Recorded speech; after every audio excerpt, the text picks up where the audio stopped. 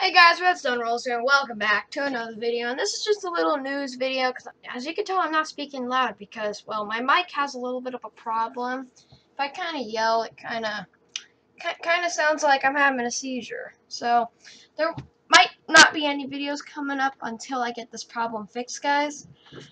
But, um, so, yeah, this is all I really have to tell you. But sorry, guys, for that mic outburst in the last couple of videos. It's just my Razer Kraken 7.1 Chroma isn't doing much. It's, the mic isn't working really.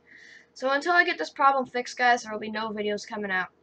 So the problem should be fixed pretty soon. Just don't worry, guys. Don't worry. Anyways, guys, that's it for this video. Hope you enjoyed. Bye.